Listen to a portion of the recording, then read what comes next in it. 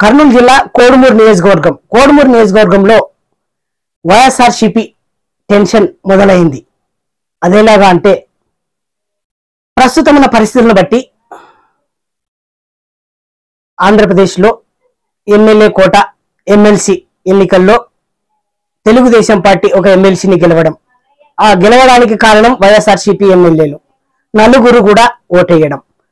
వేయడం వలన రా వచ్చింది. అందులో భాగంగా జగన్మోహన్ రెడ్డి ప్రభుత్వము వారికి సస్పెన్షన్ చేయడం వారిని సస్పెన్షన్ చేయడం జరిగింది. సో దీనితో వైఎస్ఆర్సీపీలో ఉన్నటువంటి ప్రతి ఎమ్మెల్యేకు కూడా కాస్త గుబులు పుట్టిందనవచ్చును. ఎందుకంటే ఏదైనా జరిగితే తప్పకుండా జగన్మోహన్ రెడ్డి శిక్షించడానికి ఎన్నుకాడడు అని అదొకటి. సో ఇంతకు ముందు ఏం చెప్పారంటే జగన్మోహన్ రెడ్డి గారు మీరు గడప గడపకి వెళ్ళండి ప్రజల్లో ఆ ఇంటింటికి వెళ్ళి గడప గడపకి వెళ్ళి ప్రజల్లో ఆదరణ పొందండి. మీకే సీట్ వస్తుంది. అలా కా- తిరగని వారికి సీట్ ఇచ్చే అవకాశం లేదు అంటూ ఒక ఎనభై మంది దాకా ఇలా సూచనలు ఇచ్చారని జస్ట్ సమాచారం రన్ అవుతుంది.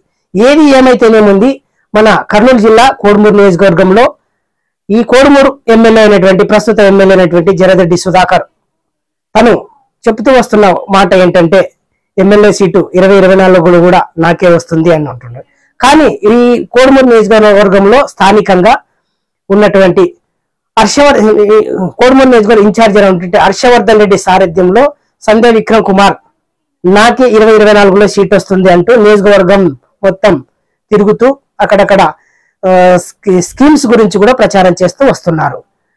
ఇది ఇలా ఉండగా మరి ప్రస్తుతము ఆదిమూలపు సురేష్ తమ్ముడైనటువంటి ఆదిమూలపు సతీష్ ఉచిత కంటి వైద్య శిబిరంతో నియోజకవర్గంలో అడుగుపెట్టారు. అడుగుపెట్టి నన్ను- నా కూడా ఎమ్మెల్యే సీటు ఆయన కూడా ఎమ్మెల్యే సీటు ఆశించి నియోజకవర్గంలో అడుగుపెట్టినట్టు సమాచారం. ఏది ఏమైతేనేముంది?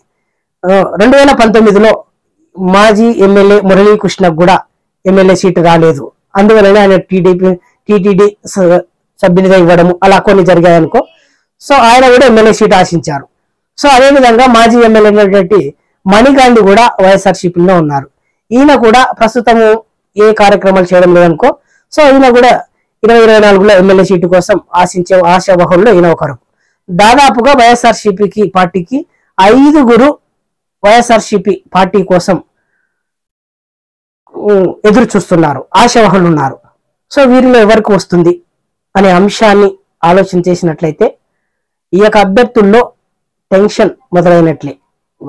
నా సీట్ వస్తుందా లేదా అని గుండె గుబులు అంటున్నట్టే దడ దడ పుడుతున్నట్లే.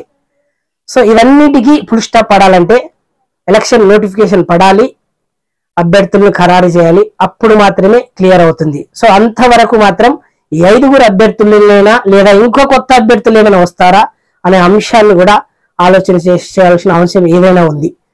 సో అంతవరకు మాత్రం ఇప్పుడున్న ఐదుగురిలో టెన్షన్ ప్రస్తుత ఎమ్మెల్యే కూడా టెన్షన్ మొదలైనట్లే. సో ముందు ముందు ఏం జరుగుతుందో చూద్దాం.